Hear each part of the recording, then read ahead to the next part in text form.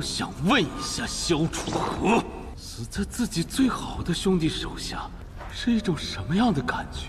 这里面的药真的能解开吴昕身上的药人之术吗？你们苏木两家也与大家长决裂，跟我联手。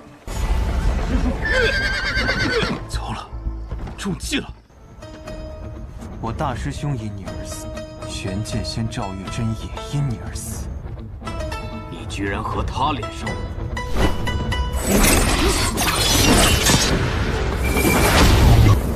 今日来报师仇，请君赴死。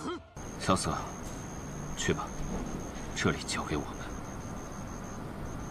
拜托各位了。吴昕，我来救你了。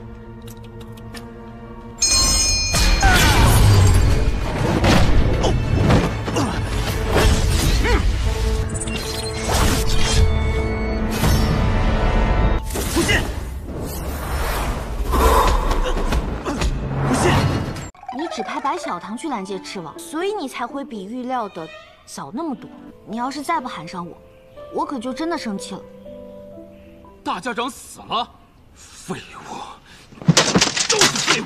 你去传两封信，一封给男爵，第二封传到木良城。洛清影出城了，通知无双城，这是我最后的机会。我相信楚河一定也在想他的办法。还说了什么？就说了四个字：问剑天启。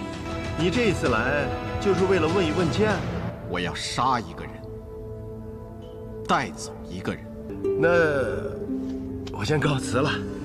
哎，你急着走吗？我是怕有人等不及了，我更怕他误会，以为我在跟他抢对手呢。这个人啊，脾气不好，武功又高，嘿嘿，我得躲躲。我的剑来了，你问吧。要带走的那个人。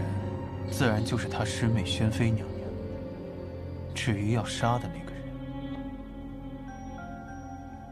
我猜应该是我。